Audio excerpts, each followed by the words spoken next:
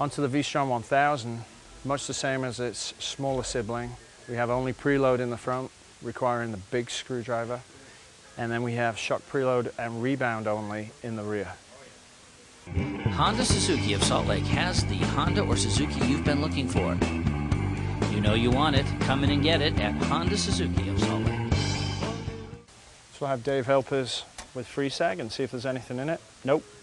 So we're at 23 inches extended. On you get. Again, this is quite a bit bigger than the smaller bike with twin exhaust and a much heavier engine. So let's see what we get. Just over an inch and a half. So actually, if you're in the 190, 200 range, it's perfect as is because it's got a little bit more suspension for the street. Off-road, if you're going to dual sport this a little aggressively, that might be a tad on the uh, soft side, so you can always add some preload to it.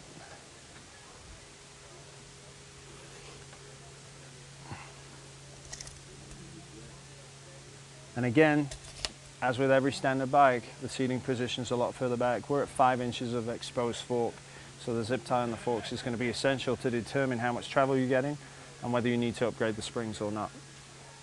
Now with Haley on the bike, we're at an inch and a quarter, so we can obviously soften this up. So even at 40 pounds lighter, it's actually not that bad, which is quite surprising. We could definitely take some preload out and the bike would be very rideable for the street. For the dirt, it may be a bit tight if you're going to dual sport it. So if you're in the 130 range, you might find it's a little harsh in the back once you get off-road. Ready?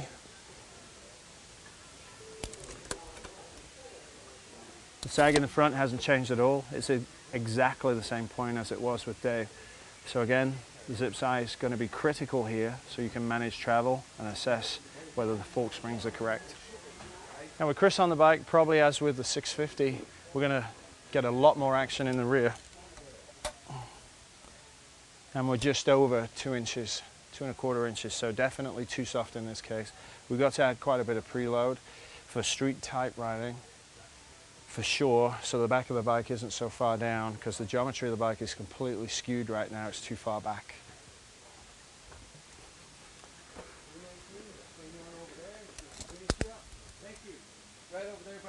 And we've got a little bit more sag in the front, but it's only a quarter of an inch.